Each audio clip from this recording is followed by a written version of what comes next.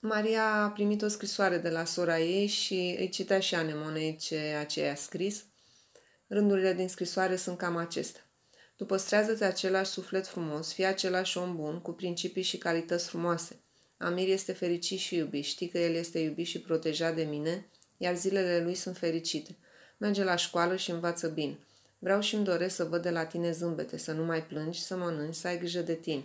Dacă ai ales să mergi acolo, bucură-te de aceste momente și ia tot ceea ce este frumos din această experiență. Fii puternică, găsește puterea interioară, să nu lași nimic să te afecteze.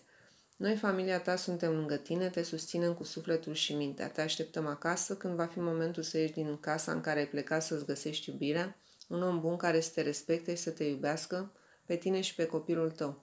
Tu meriți tot ceea ce este mai frumos de la viață și de la oamenii din jurul tău, pentru că așa este și sufletul tău, frumos, iubitor și sincer.